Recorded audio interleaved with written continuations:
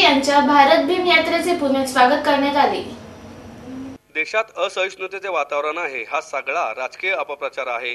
देशाचे संविधान बदलण्याचा प्रयत्न केला त्याला तेव्हाच प्रत्युत्तर देऊ असं प्रतिपादन खासदार रामदास आठवले यांनी पुणे येथे केले. एकशे पंचवीसाव्या जयंतीच्या निमित्ताने सर्व रिपाई पक्षांचे ऐक्य व्हावे असेही ते म्हणाले. खासदार आठवले यांच्या भारत भीम यात्रेचे पुणे शहरात आगमन झाले. यात्रेचा स्वागत समारंभाचा कार्यक्रम पुणे स्टेशन येथे आयोजित करण्यात आला होता. या कार्यक्रमात आठवले बोलत होते. यावेळी महापौर प्रशांत जगताप राष्ट्रीय कोषाध्यक्ष एम डी शेवाळे शहराध्यक्ष महेंद्र कांबळे आदी उपस्थित होते. आठवले म्हणाले की डॉक्टर बाबासाहेब आंबेडकरांनी देशाच्या विकासासाठी सिंचन क्षेत्र वाढवण्याची गरज असल्याचे सांगितले होते. मात्र घोटाळ्यामुळे राज्यात सिंचन क्षेत्रात वाढ झाली नाही. पंतप्रधान नरेंद्र मोदी देशात चांगले काम करीत आहेत. त्यांनी असेच काम पुढील काही वर्ष केल्यास राहुल गांधी यांचा क्रमांक देशाच्या सत्तेत पंधरा ते वीस वर्ष लागणार नाही. रोहित वेमुलाच्या आत्महत्येची सीबीआय चौकशी करा आणि कुलगुरूंना निष्कासित करा अशी मागणी आठवले यांनी यावेळी केली.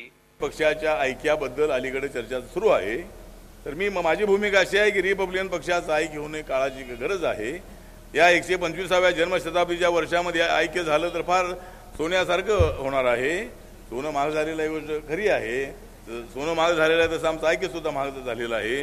कधी होईल हे सांगता येत नाही आणि झालेलं आहे की कधी तुटेल हे सांगता येत नाही. पण या वेळेला मात्र मी सांगतो की माझ्या वतीनं रिपब्लिकन पक्षाच्या ऐक्यासाठी चार पावलं मागे येण्याची माझी तयारी आहे. आणि बाळासाहेब आंबेडकरांनी पक्षाचं अध्यक्ष व्हावं.